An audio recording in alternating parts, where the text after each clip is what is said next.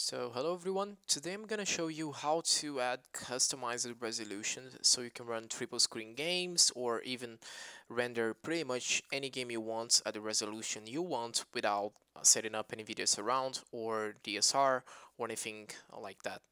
So uh, yeah, the main idea for this, uh, I use simulators and I have screens that are different refresh rates and I can't get them to work well in some sims without some massive tweaking and even in RaceRoom I could never get it to work. So after I found this tutorial I was able to just select the resolution and enable all the triple screen corrections and uh, perspective corrections, not the bezel in Ballista 1 for example, uh, because that would need to be done during surround with surround. If any of you know a way to add bezel correction not the perspective uh, correction but actually uh, removing the bezels I would be very glad to know uh, if there is a software or a tweak that uh, we can do that but it's already so much better to be able to use Multiview there.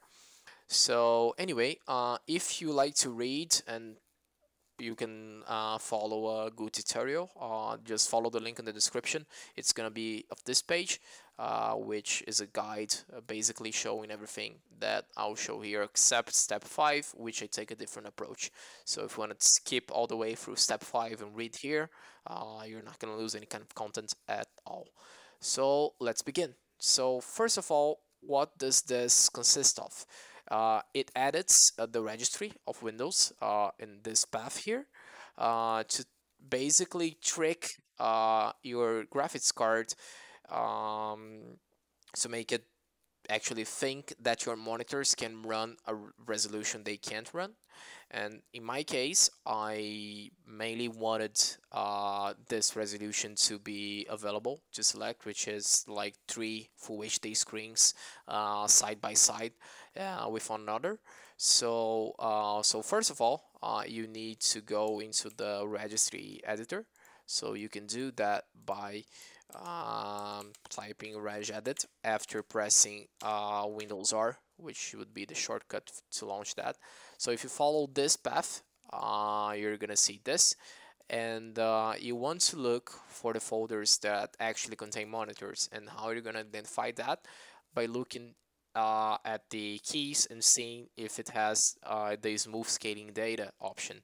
So if it has, as you can see, this doesn't, but this and this they do. So those are my three monitors. Uh, the first thing you want to do is export here you can export this anywhere just set up a structure of folders because every time that you update your graph graphics card drivers you are gonna need to redo this procedure all over again because this basically erases all those keys and writes them back up by the driver uh, installation program. And uh, you're gonna need to redo this every time you update your drivers. So I just set it up this this up in a folder so it's quick for me to do uh, once I want to do that again. So once you save those folders, uh, you're gonna see something like this. So I set it up on screens. I'm gonna go in the first monitor. You open this up with your notepad or any kind of text editor you want. Uh, and you're gonna look for this uh, smooth scaling data. So uh, you're gonna go to this website. It's all shown here, uh, but I'm also gonna put the links on the description. Uh, you put the desired res resolutions, click this button. It's gonna give out this output you copy and then go back to the notepad and just take smooth scaling data, select everything, remove, then paste uh, whatever it's in there. Uh, as far as I know, you don't need to add the resolutions you already would have displayed normally. Uh, this is just like enabling more resolutions. Uh, it has a limit of 10 resolutions, but uh, I don't think you're ever gonna need more than that. And there is a way to use even more that it's it's shown here how uh, you can add uh, even more than those 10 if you need that. But personally I don't need more than one resolution extra added. Uh, but yeah just press it here save. I'm not gonna save because of course I already have my file ready and everything working. And after you press save uh, you're gonna go back to the saver to the save location and you're gonna double click so that uh, you allow and then press yes here it's gonna say that it doesn't work it probably you say the same thing if you don't have uh, the correct permission set in the registry folder keys. Um, so they're going to go to permissions and add uh, total control or full access or I don't know whatever it's called in English, but it's going to be the first checkbox here. So you just press allow and apply and then redo that double click and it's not going to pop up that error message. After you finish everything, I highly suggest you disable those uh, total control permissions just to make sure uh, no software can actually uh, mess up with those configurations or some unadvised kid or whatever you might have. So after you do that, uh, you save everything. Everything is important. You're gonna see that this key is slightly different, uh, just based on the values you put in. Uh, after that, uh, you're gonna launch this software, uh, DevManView, which is also in the description.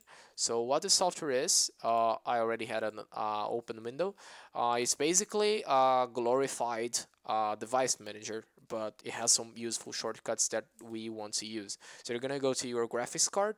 Remember, this will only work in NVIDIA cards. Uh, if you have AMD cards, it may work, but I'm not sure uh, how the registry works uh, for those drivers. So you're gonna have to find basically the equivalent of um, whatever is telling you what monitors, uh, what resolutions your monitor support. So you're gonna click this, disable plus enable selected devices. You're gonna wait until all your screens are going to go dark and they're going to come back in like 5 or 10 seconds. After they come back, uh, the settings have been loaded into the graphics card and you are going to be able to select those uh, resolutions in pretty much any software that you have uh, like a configuration screen. So I think this has one.